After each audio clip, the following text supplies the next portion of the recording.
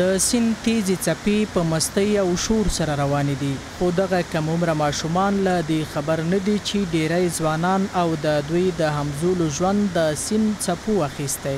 دا کم عمره ماشومان د سیند په اوبو کې د خپل ژوند سره لوبې کوي.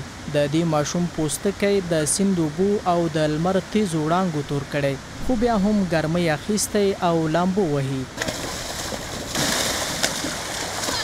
جلال اباد ښاریان وايي، د کورنۍ د غړو له اجازې پرته د کم عمره ماشومانو سیند او نهرونو ته تلل د دې سبب شوي چې د بچیانو جسدونو پسې پښې ابلې لالهانده د سیندونو او نهرونو ژورې ګوري. خو اوبو وړي بېرته ژوندي نه راګرځي.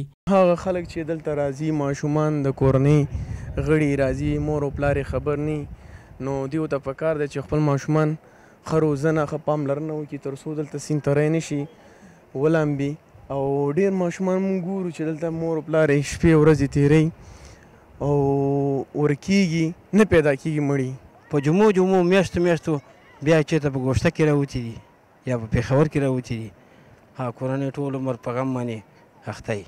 دا اوس وګوره، په دې ګرمو اوبو کې، دې یخو اوبو کې لامبي، بار شګو ته راووځي او دا اوبه پاکې، دا بېخي په سل په سلو کې دا چټلې دي دا اوبه. خالد احمد وایي، په خپله یې لیدلي چې د بېلابېلو سیمو کوچنیان سیند څپو راپه مخه کړي او جسدونه یې کورنیو ته له ډېر کړاو وروسته لاسته ورغلي نوموړی د سیند پر غاړه له اوسېدونکو څخه غوښتنه کوي چې کم عمره ماشومان سیند کې لامبو وهلو ته پرې نه ږدي. سیندونو په غاړه کورونه لرو، دغه ملګري باید ټول په دې پوه شي، دلته کوم هلکان راځي دوی ته باید اجازه ورنه کړل شي، ځکه دلته د مرګ ډېره زیاته خطره ده. که څه هم له یوې خوا په جلال اباد کې ګرمي ده او ماشومان تر سیندونو او نهرونو په دې خاطر راځي چې ګرمي د سیند په اوبو سړه کړي، خو همدې اوبو یې ژوند اخیستی او کورنۍ یې د ویر په ټغر کینولي.